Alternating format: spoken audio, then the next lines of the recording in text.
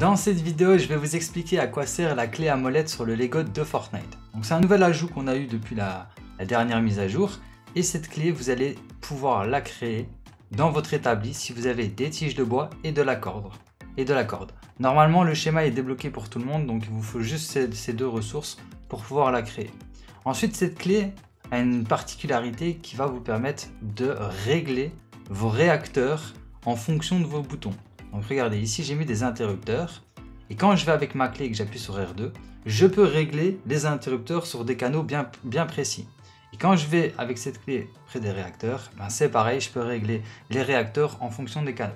Donc ce qui est bien, c'est que ça me permet par exemple de mettre tous les réacteurs du bas euh, sur le canal numéro 3. Ensuite le réacteur de derrière sur le canal numéro 3. Et quand j'appuierai sur une touche, seul les réacteurs qui sont sur le, canal numéro 3 s'activent